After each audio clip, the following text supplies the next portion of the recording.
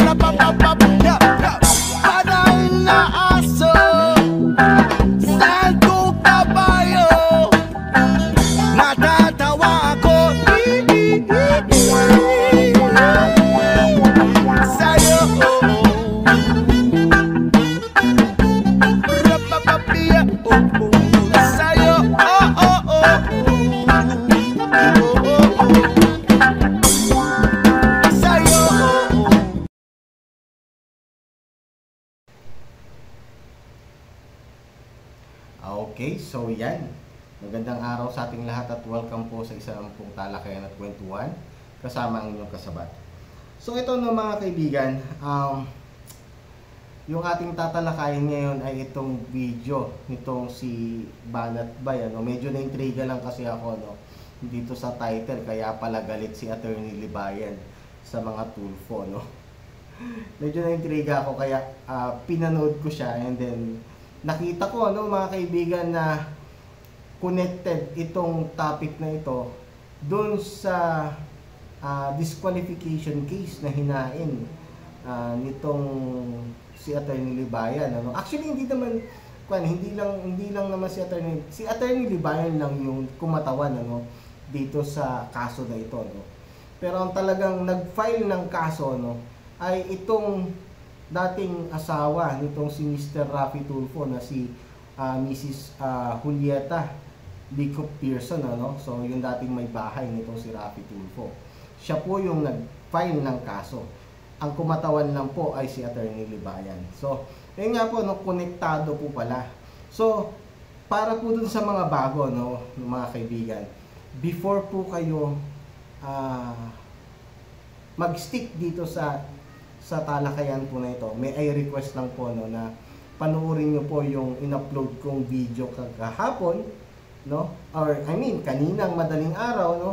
Na kung saan eh na-discuss po doon yung disqualification case, ano? Kung paano po tumakbo yung disqualification case na ipinail nitong sila Attorney Libayan ano, laban dito kay ah, Mr. All-Knowing Rafi Tulfo. No? So kung paano ba na-dismiss, paano na basura, kung paano na-deny, no? Yung motion for reconsideration. Panoorin niyo po yun, ano, mga kaibigan ng sa ganun. Makasabay po kayo dito sa issue po na ito. No? So, bigay ko po sa inyo yung title, ano? DQ case laban kay Rafi Tulfo, piniikot lang. Comelec, puro palusot. So, yan po yung title. Hanapin niyo lang po, no? Ah, video po yan ni Katon pero syempre, gina, ah, ginamit po natin, ano? Para nang sa ganun, eh, ah, marami pong maliwanagan ano kung ano po talaga yung nangyari dun sa DQ case. Kasi marami nagsasabi na dahil daw po natalo daw po itong si Attorney Libayan o yung party nitong si Attorney Libayan dahil sa technicalities no? Kaya nga tinawag na boy technical itong si Attorney Libayan which is hindi totoo. Yan di ba?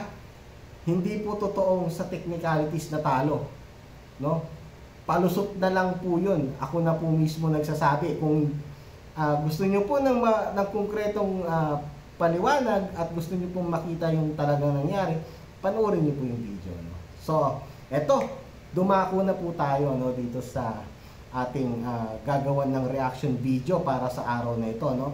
Itong ah, video na itong si Banat Bay. Ano? Tignan nga natin kung banat pa rin ba yung kanyang ginagawa dito o yung banat pinag-isipan na nang sa ganun maging bara. 'Di ba? Okay, play na natin ito. Let's do this. Now I understand. Mm. Sabi ko, now I understand kung bakit si Atty. Libayan ay galit na galit sa mga tulpo. Okay? Ulitin ko ha, para lang mo sa kaalaman ng iba. Ako po si Banat Bay. Si Banat Bay po, pag tumingin sa isang bagay, hindi niya po tinitingnan yung tao per se. Ang tinitingnan ko po yung issue na kanyang inilalabas. Ako po si Banat Bay. Si Banat Bay po, pag tumingin sa isang bagay, hindi niya po tinitingnan yung tao per se. Ang tinitingnan ko po yung issue na kanyang inilalabas. So ayun, ano, narinig niyo naman po yung sinabi ni Banat Bay dito, no? Kaya pala ang tawag niya dito, no, kay Attorney Libayan ay Attorney Kabutas. Kasi issue pala yung tinitignan niya, no? No? Attorney Kabutas kasi ang tawag niya dito kay kay Attorney Libayan, ano? So issue pala, no? Doon pa lang, 'di ba? Sapul na. Hindi na totoo yung sinasabi niya. Okay? Tuloy natin. Tulad nga ng sinabi ko, si Atty. Libayan matalino yan. Si Atty. Libayan marami kang matututunan dyan. Tama. Ang problema ko lang kay Atty. Libayan, every time ipinapasok niya ang issue ng Tulfo, bumabaluktot yung kanyang paninindigan. Bumabaluktot yung kanyang ah, mga sinasabi at prinsipyo. Bumabaluktot siya. Okay? Ibig sabihin, kasi ang, ang tao, meron yung talino eh. No, di ba? Halimbawa, si, si Thinking Pinoy. Ako, minado naman ako matalino yun, okay? Matalino yun. Ang problema, minsan yung talino natin, ginagamit natin to serve our interest, self-interest. At babaluktutin natin yun para madoon ma masilbihan yung self-interest mo. Naintindihan niyo ibig sabihin? Minsan yung talino natin, ginagamit natin to serve our interest, na self-interest. At babaluktutin natin yun para madoon ma masilbihan yung self-interest mo. Naintindihan niyo ibig ko sabihin? So, ayan na naman mga kaibigan. Mayroon na namang conflict of interest dito mamaya, no, mga kaibigan. Kasi, lahat nung sinasabi niya dito, no, eh, nag, ah, nagre-represent, ano, kung ano siya. Diba? Lahat nung sinasabi niya na ah, patama dito kay Attorney Libayan, ano, eh, mukhang sa kanya dumidiretso. Di ba? Pakinggan natin ano kung paano niya babaluktutin ano yung explanation regarding dun sa DQ kaya nga sinabi ko po sa inyo importante po na panoorin po ninyo yung video po na in-upload ko kahapon nang sa ganun makasabay po kayo okay? tuloy natin Ito, ang problema ko kay Atty. Libayan. Kanina siya, kanina pag nagpaliwanag. Sa, sa, sa katunayan, even before, ako aminado kung pinanonood ko siya, nagagalingan ako. Okay? Naipapaliwanag niya. Ang problema ko, pag pinasok niya na si Tulfo, yung self-interest niya na galit kay Tulfo, lalo na dahil natalo, mm. eh, nababaluktot na yung mga dapat niyang So, ayan ano, mga kaibig. Excuse me. So, ayan ano, mga kaibigan. Ah, galit na no yung nangyayari dito no. Galit na yung sinasabi nitong si nitong si Banat Bay. So, galit daw itong si Attorney Libayan no dahil nga daw po natalo itong si Attorney Libayan dun sa ipinail na DQ case nila laban dito kay Rafi Tulfo. So yun yung dahilan ano nitong si Banat Bay, no? Mukhang hindi na naman yata pinag-isipan yan Banat Bay. Napakababaw na dahilan, no? Para sabihin mo or gamitin mo no na ang dahilan kung bakit galit which is hindi naman no eh dahil doon sa pagkatalo doon sa kaso. Yung gamitin mo na dahilan ano yung pagkatalo nung ah, pagkatalo sa kaso, eh abogado yan. Sanay na yan sa, sa ganyang klaseng ah, ah, kalakaran. Di ba? Tapos, ah, pararatangan mo na galit itong si Attorney Libayan dahil sa natalo. Abogado yan. Ganyan, yan ang trabaho niya. Na? Walang puwang ano dun sa mga abogado natin ano, dun sa mga lawyers natin ano, yung magtanim ng galit. Kasi nga nangyayari talaga 'yan ano. Nangyayari 'yan. Pero yung nangyari kasi dito sa ah, issue ano, dito sa DQ case na i-final eh hindi normal yung pangyayari. Luto yung nangyari. Ha? Tuloy natin. Nang i-discuss. Nakakalata ko yun eh. Parang ang nangyayari, ito yung katotohanan, para mapunta dito, eh kailangan niyang baluktutin kasi andito yung interest niya eh, kay Tulpo. Nung una pala, lumagpak na siya eh, doon sa disqualification niya kay ah, kay Tulpo. Pinapadisqualify niya kasi abogado siya eh. So may nagdemanda. O ito, papakita lang natin ha. Hindi niya alam kung ano Ayan. Okay. So, dinimanda nung ah, parang pinadidisqualify nung kanyang asawa. Yung da- daw ha, daw. Yung dating asawa ni, ni Tulpo. So, sabi dito, doon sa, ito po ay motion na. Ibig sabihin ng ah, motion for reconsideration. Ibig sabihin, yung una, natalo na siya. Hindi na pinayagan na ma-disqualify si Tulfo. Mm. Okay?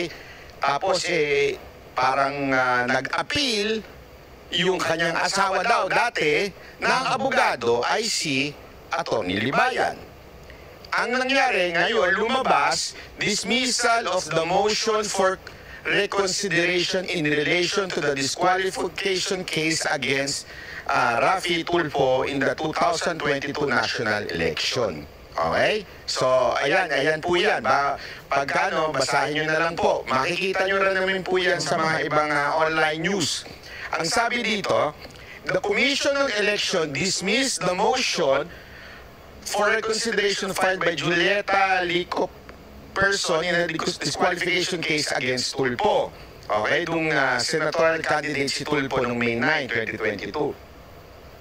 In its resolution promulgated on 28 ng February, the Commission and Bank found no valid reason to reverse the assailed order of the COMELEC First Division. Ibig sabihin, meron na nung una, sumabit na sila doon, inapil nila, sumabit na naman sila dito. Ibig sabihin, walang nakitang dahilan ang COMELEC para baguhin o i-reverse yung decision ng First Division ng COMELEC.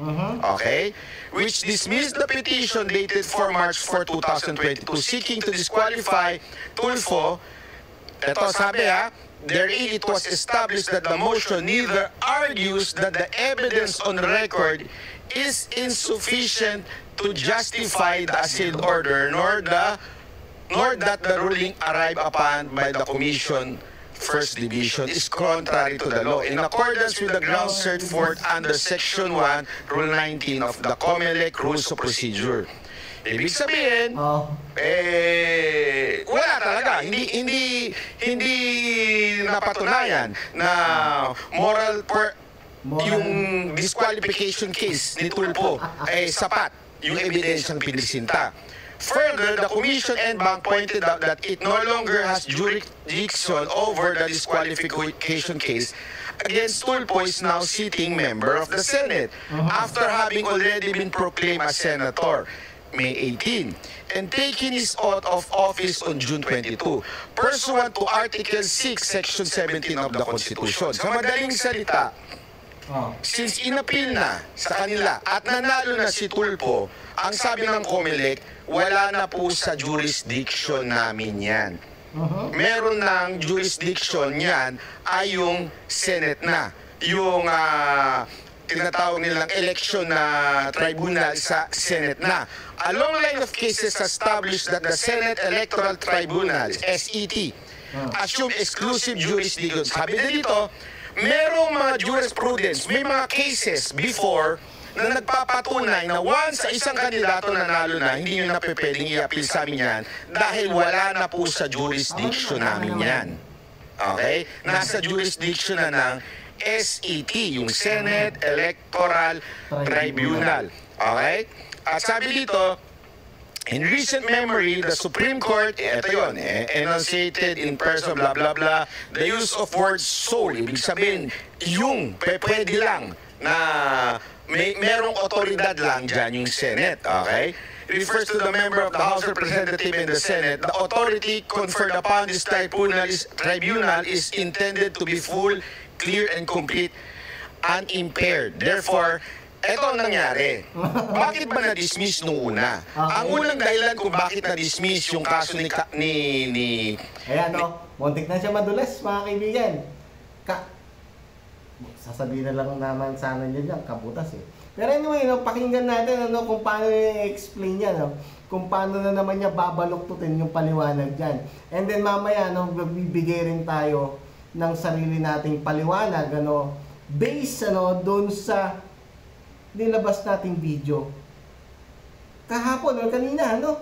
Okay, o according, okay, kasi napanood ko lang eh, kay Katunying, ang paliwanag niya dahil daw may kulang na ebidensya. Okay? Hindi hindi parang in other words, pinalalabas ni Katunying na it's all about technicality. Pinalalabas ni si Katunying Katunying daw nagpalabas. na it's all about technicality. Okay? Galing, po ito kay ano ha? Kay, kay, ano ha? Kay Katunying. Sa, Kaya nga mga kaibigan, mga kasabat, sinasabi ko po sa inyo, panoorin nyo po yung video no, na inilabas ko kanina, kaninang madaling araw, no, nang sa ganun, makasabay po kayo dito. Nang hindi po kayo ginagawang T ng mga ganitong klaseng vlogger. Okay? Tuloy natin. sabi niya, technicality, daw. Dahil, hindi, Ibig sabihin, yung ebidensya, hindi sapat, hindi daw umabot kay Rafi Tulfo yung mga ah, presentation of evidence or something like that. In other words, ganito lang. Yung moral turpitude na sinasabi, eh, yung libel case, kasi merong libel case, guilty conviction si Senator Rafi Tulfo na libel case. Okay? Eh, meron pong, ah, sabi ni, ni Katunying, eh, ito naman talaga ay moral turpitude. Okay. Kaya lang, nagkataon technicality, kaya hindi na-disqualify si Tulfo. Nagigets nyo? Minsan yung talino natin, ginagamit natin to serve our interest, self-interest. At babaluktutin natin yun para Naaway niyo yung sarili nyo. doon ma masilbihan yung self-interest mo na hindi na ibig sabihin. So ito no mga kaibigan. No. Paliwanag natin ano kung ano talag kung ano yung nangyari based dun sa video na nakalabas kahapon. Ay kanina. Ano ba yan? Kanina madaling araw lang po yun mga kaibigan. Ah ito kasi yan ano mga kaibigan. Itong si Mrs. ah, Pearson ano ay nag-file ng disqualification case laban dito kay Rafi Tulfo nung siya ay kumakandidato pa lang. Ano yung dahilan? Ano yung final na kaso? Ano yung dahilan nung pagpa-file ng kaso? Sinasabi nitong si Mrs. Pearson na itong si Rafi Tulfo daw ay nagsinungaling. Ano yung dahilan? Ano yung pinagsinungaling nitong si Rafi Tulfo? Hindi daw po sinabi ni Rafi Tulfo, no? Or kumbaga, nagsinungaling itong si Rafi Tulfo. Sinabi raw nitong si Rafi Tulfo na wala siyang conviction, na wala siyang kaso. Which is, meron pong kaso itong si Rafi Tulfo. Meron po siyang final conviction, no? Involving moral turpitude. Di po ba? Meron po siyang kaso. Ngayon, no, nung nag-file itong sila Mrs. Pearson, dapat ano, actually dapat niya hindi na nga umabot dun sa ah, motion for reconsideration yan eh. Hindi na nga dapat umabot pa dun sa technicalities yan eh. Kasi kung itong COMELEC ay umaksyon agad, ora mismo nung nalaman nila, oh, ito pa lang si Rafi Tulfo, merong final conviction. Teka, teka, teka. Hindi pwedeng, hindi pwedeng tumakbo yan as senador. Di po ba? Hindi po dapat nangyari ang mga bagay na yan. Ngayon, yung regarding dun sa technicalities, ano, palusot na lang ng COMELEC yun. At yung regarding dun sa ah, inabot na siyam-siyam, ano, na para i-determine, no, yung kung ano ba talaga yung ah, naging pagkukulang nitong side nitong sila ah, Attorney Libayan na inabot ng 9 months, eh, nag-buy time na lang ang COMELEC noon nang sa ganon, eh mawala na sa kanila o mawala na sa jurisdiction nila yung kaso. Pero kung titignan natin ano mga kaibigan, kung pupunta lang talaga tayo dun sa pinakabuod nito, no? Nung nag-file itong dating may bahay nitong si Rafi Tulfo, no, ng disqualification case, no? At sinasabi nitong may bahay o yung dating may bahay nitong si Rafi Tulfo na itong si Rafi Tulfo ay convicted ano ah, ng libel involving moral turpitude no which is no? Which is a crime. Doon pa lang tapos na sana yung usapan. Di ba? Wala na sanang kwan wala na sanang sinasabi pa na wala na sanang sinasabi yung mga ganitong klaseng vlogger no? Na ah, kung ano-ano pa yung mga pinapaliwanag nila. Na which is, ang nangyayari ngayon dito, eh, nilalason nila yung pag-iisip ng mga tao. Nakukuha niyo po ba yung pinupunto ko? No? Tuloy natin. Tama, the fact is correct. Oh, the fact is correct. Pero dahil sa technicality nung una, na-dismiss. Sa loob-loob ko, Oh, simple lang ito eh. Napakasimple. Technicality ang issue. Sa madaling salita po, nagkamali. May nagkamali. So ayun, no, narinig nyo no, mga kaibigan. Pinalalabas ngayon nila na fault ni Attorney Libayan yan. Pero sinasabi nga na, sinasabi nga nila Attorney Libayan din no, kung umaksyon lang agad ang COMELEC during the time na nag-file ng case itong si Mrs. Pearson no. At nalaman nila na may conviction itong si Rafi Tulfo, wala na sana tayo sa usaping ganito. 'Di ba? Wala na tayo sana sa usaping ganito. Tapos na sana yan. Wala sanang sinasabihan ngayon na boy technical. Nakakahiya, no? Nakakahiya yung ginawa ng Comelec na ito. Siyempre, wala naman na tayong magagawa niyan, di ba? At ngayon, eh, si Attorney Libayan, eh, gumagawa rin naman ng paraan, ano? Para lang sa ganun, eh, may pagpatuloy, ano, yung ah, nasimulan nilang laban, eh.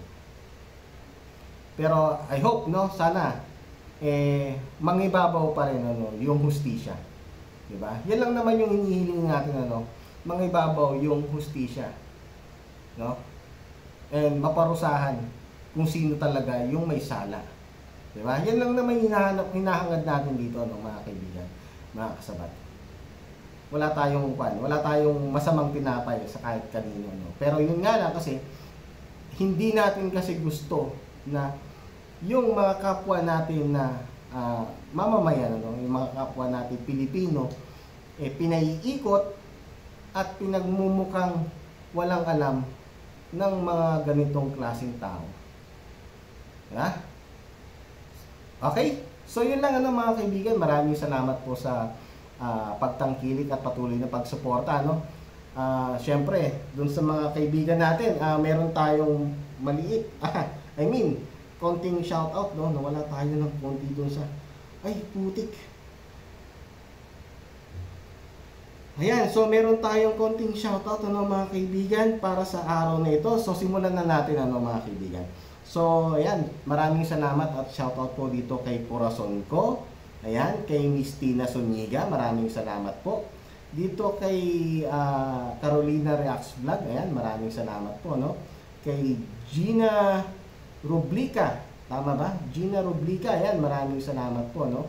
Dito kay ah, Miss Judilyn Aquino, ayan, salamat po no. Dito kay ah, Mr. Arfi Marcelo, ayan, welcome back May Santos. Namiss kita. Ah, medyo matagal-tagal kang hindi nagparamdam, ano? Simula nung hindi ko na kinokontent si ah, idol mo. Di ba? Ayan. Itong si G. Rose, ay si Gross, ayan, maraming salamat, no? Itong si ah Ermani Nugid, ayan, maraming salamat po. Salvador ah, Gumabon, ayan, thank you, thank you po, ano?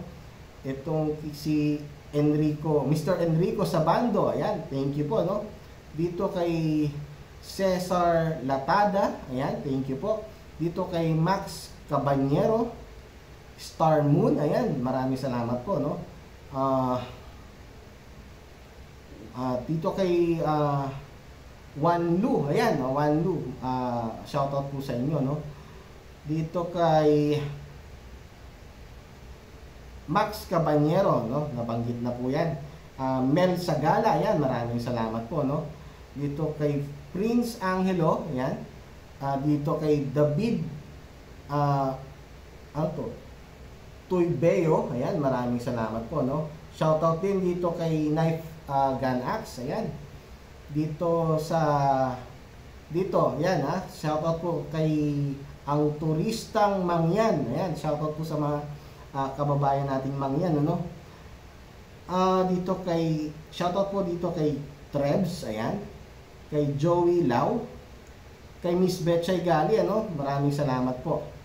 Dito kay Reynaldo Jeronimo, ayan, maraming salamat po. At last, no, dito kay Rasim Alanaid, ayan, maraming salamat po. And syempre, nagpapasalamat po ako dun sa ating mga kasabat, sa mga kabatas natin dyan, ano, dun sa kapatiran natin sa iglesia, maraming maraming salamat po sa patuloy na pagsuporta po ninyo dito sa ating munting channel. And syempre, no, ah, magpapaalam po muna ako sa inyo, no, mga kaibigan. So, ito po ang inyong kasabat. Paalam po pansamantala.